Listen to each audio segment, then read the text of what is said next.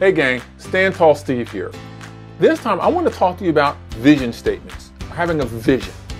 Having a vision means nothing if others don't see it. What, what good is it? See, that's the main thing. If you're a leader or you're in charge of an organization or group, principal, superintendent, teacher leader, whatever it might be, and you create a vision statement or you have something that you see to be the outcome of where you want your organization to be, that's wonderful. That's the first step but it means nothing if no one else sees that vision. If that's just a vision that you have and nobody else sees it, you're going to be working in a silo. You're going to be fighting an uphill battle the whole time.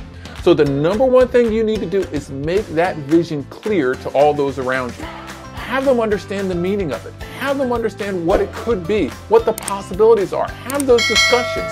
As I'm saying, having a vision statement that, or a vision for something that nobody else sees really doesn't mean anything.